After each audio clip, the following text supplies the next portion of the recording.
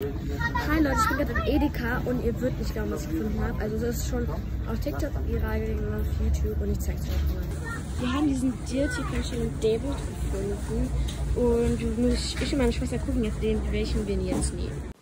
Leute, ich bin jetzt wieder zu Hause und ähm, ja, ihr könnt jetzt raten, was ich gekauft habe.